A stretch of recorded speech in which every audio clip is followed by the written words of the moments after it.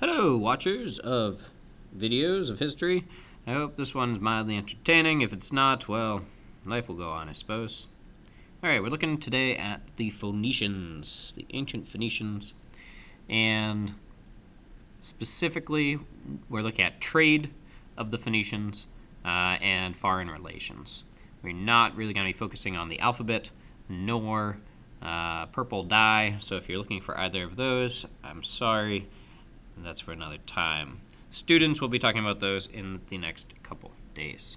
However, we're going to be looking mostly at trade ships and that for this video. So the Phoenicians, as I have mentioned in class, or if you are asleep, uh, I will mention now, the Phoenicians were great traders. They established a uh, a series of colonies throughout the Mediterranean, namely in the southern border of the Mediterranean, uh, and lasted from about 1500 BC to about 500 BC. So they're a pretty uh, solid uh, length. I'd call it an empire. Um, so the Phoenicians last for about a thousand years, and namely it's because of their ships. So Phoenicia, as I have mentioned, and will mention again on this map, it is on the far eastern part of the Mediterranean Sea. In red over there is a set of cities known as Phoenicia, north of Jerusalem and ancient Israel. So Phoenicia, home base was over there, but as you can see, as you go west in the Mediterranean, uh, Phoenicia established a series of cities and colonies throughout uh, namely to help in their trade. So the Phoenicians uh, had extensive mm, territory. However, this is actually what we think of when we say Phoenicia as a place. So merchant ships, when it came to the Phoenicians, since they had a great deal of power from trade, uh, their ships had to carry a lot of goods. So the ships themselves are pretty round, uh, kind of bathtub ship. You have one mast in the center of the ship, which, when the wind was good, the ships could travel solely by the wind. Um, however, if the wind shifted or the winds died altogether, um, there were oars in which the crew could row and keep the ship going, keep those goods traveling throughout the Mediterranean. Um, so, since the ships are very wide, uh, rounded ships, they don't do too well in turbulent water, so the ships tended to stay close to the shore. And since the ships are pretty big and wide, that means they can fit more goods in them, allowing for more trade. Of course, it is not simply economics that give a nation power, but also military might and the Phoenicians had superior technology when it came to warships as well. And with the warships, the Phoenicians uh, created something that became known as the bireme, B I R E M E. And these biremes, the idea of it is there are two rows of oars. So there are two levels in which people could be sitting and rowing the ship, which would give it great power in speed, um, and you'd have a great deal more of people on the ship as well. So, to establish so many far flung colonies, you need to first get those colonies. So, the Phoenicians were able to exert their will to create these colonies in foreign lands, but also to keep them safe uh, and keep them strong. So, this ability to create some big ships. Uh, certainly, the ships in this, these images don't have sails, uh, and certainly many didn't, but also they have ships with sails in addition to all of these rowers.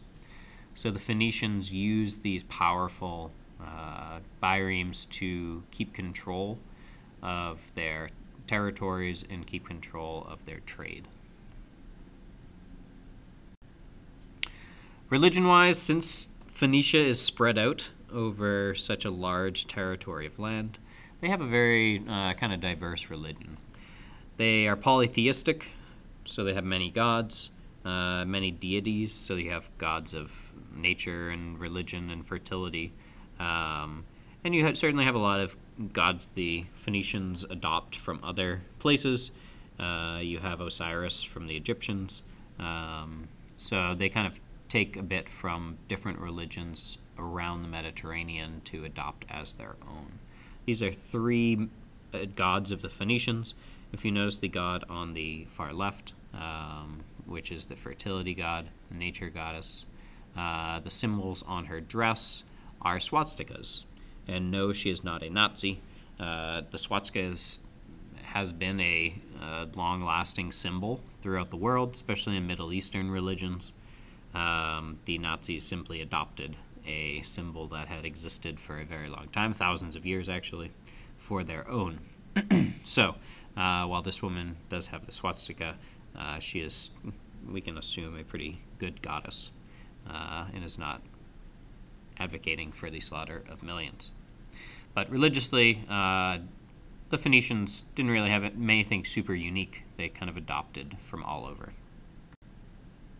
And especially, they were good at adopting from the Greeks, or the Greeks. And if you look at this map, the uh, Phoenicians, the blue territory is theirs. The Greeks, on the other hand, had the green territory.